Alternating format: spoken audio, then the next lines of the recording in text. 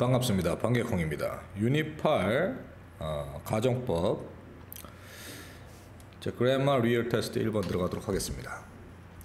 자, 나의 할아버지는 좋아했어요. To take a trip 하는 것을 목적어죠. 여행 가기. 자, 이 할아버지요. 할아버지는 자, belong to 동사 하나로 봅니다. 속해 있었다. 자, 속해 있었다. 속초에 있는 거 아니고.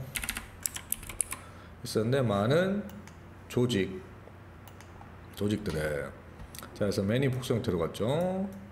자 그 다음 that은 이 조직들은 held 열었는데 컨벤션 집회. 자 집회를 열었는데 자 throughout은 전체 지역.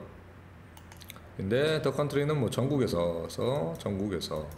자 months 한 달은 그의 보팅 클럽이 자 would 조동사 동사원형 have something 무언가 집회를 가졌고 자, 그 다음 달은 자, it was another club. 자, 그 집회는 다른 클럽이었어. 바빴단 말이에요. 자, 이러한 집회들은 자, 모임들은 were never 자, in very exciting place. 절 절대 흥미로운 장소.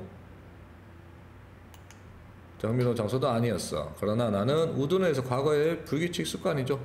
자, would 동사 원형 항상 항상 가곤 했었다. 따라갔단 말이에요. 자, 그와 함께는 할아버지와 함께. 자, he 할아버지는 불렀어. 나에게 전화했어. 그래서 전화로 가야 되겠네요. 전화.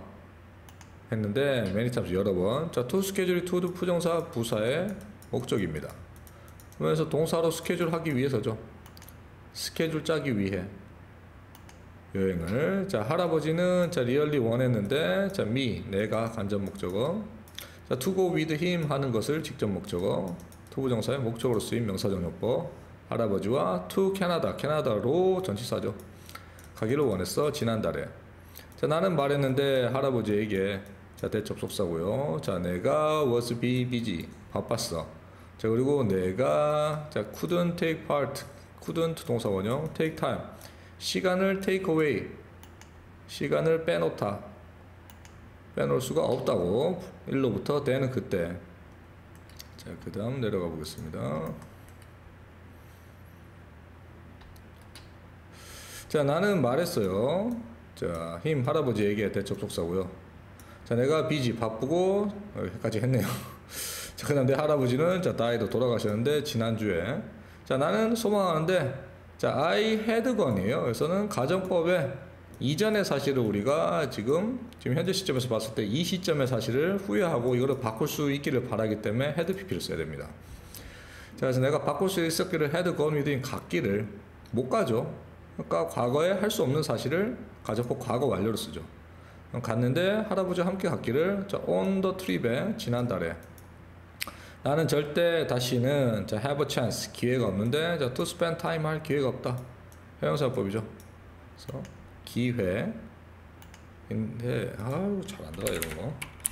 기회를 가질 수가 없는데 spend time 할아버지와 함께 시간을 보내. 나는 단지 가지고 있는데 just 삽입절이고요. 저 메모리 기억.